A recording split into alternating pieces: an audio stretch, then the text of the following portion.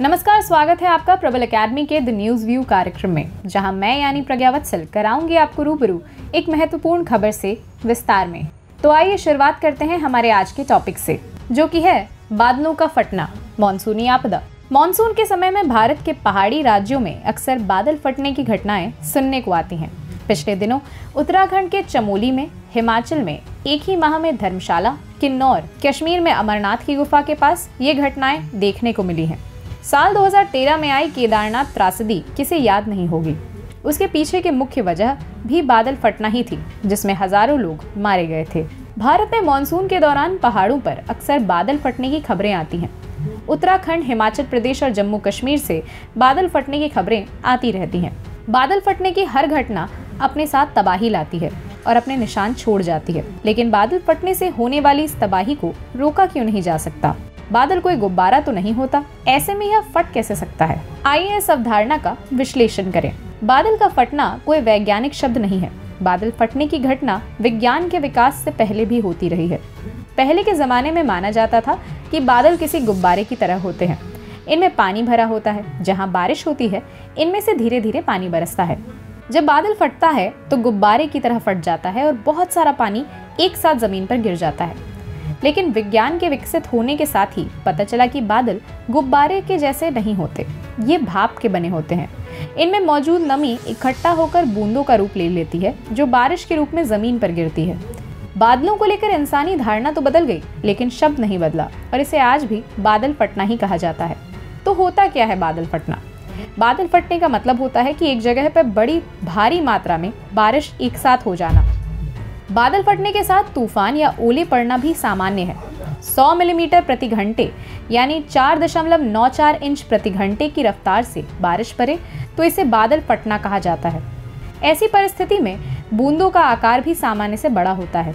इसकी वजह होती है ऑरोग्राफिक लिफ्ट यही वजह है कि बादल फटने की घटनाएँ अक्सर पहाड़ों पर होती हैं। पहाड़ की तलहटी में मौजूद गर्म हवा पहाड़ों से टकराकर ऊपर उठने लगती है।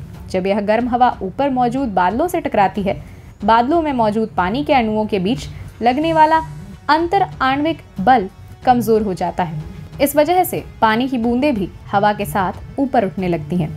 यह बूंदें आपस में मिलकर बड़ी बूंदों में बदल जाती हैं। ये संघनित तो हो जाती हैं, लेकिन इलेक्ट्रो बलों के चलते ये बादलों से बाहर नहीं निकल पाती। ज़्यादा नमी वाले ऐसे बहुत सारे बादल एक साथ इकट्ठा हो जाते हैं। आइए जानते हैं कि बादल फटना वर्षा से भिन्न कैसे है। वर्षा बादलों से गिरने वाला संघनित जल है, जबकि बादल फटना अचानक भारी वर्षा का होना है। प्रति घंटे 100 मिलीमीटर से अधिक वर्षा को बादल फटने के रूप में वर्गीकृत किया गया है। बादल फटना एक प्राकृतिक घटना है, लेकिन यह अप्रत्याशित रूप से और अचानक घटित होती है। तो क्या यह केवल पहाड़ों पर होती है? ऐसा ज़रूरी नहीं है। कि बादल फटने की घटनाएँ सिर्फ़ पहाड़ों पर ही हो। 2005 में मुंबई में बादल फटने की घटना सामने आई थी। इसकी वजह, बादलों के सामने पहाड़ की जगह गर्म हवा का अवरोध होना था।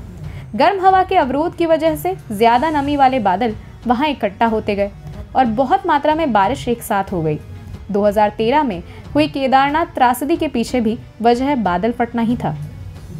यह सब जलवायु परिवर्तन का प्रभाव है। कई अध्ययनों से पता चला है कि जलवायु परिवर्तन से दुनिया भर के कई शहरों में बादल फटने की आवृत्ति और तीव्रता में वृद्धि होगी।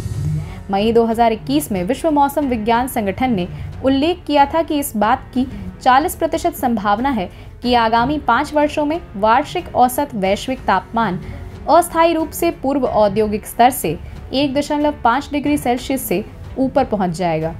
तो क्या बादल फटने की घटना का पूर्वानुमान लगाया जा सकता है? वर्तमान में बादल फटने की घटना का अनुमान लगाने के लिए कोई तकनीक उपलब्ध नहीं है, क्योंकि ये घटनाएँ बहुत कम देखने को मिलती हैं।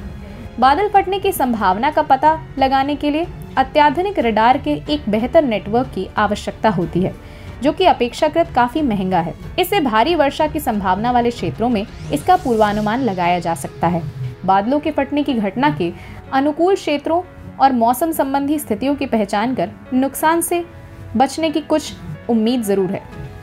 ऐसे ही अन्य महत्वपूर्ण जानकारियों के साथ हाजिर रहूँगी मैं हर बार आपके साथ। आपको हमारा शो कैसा लगा, इसका फीडबैक हमें कमेंट सेक्शन में देना ना भूलें।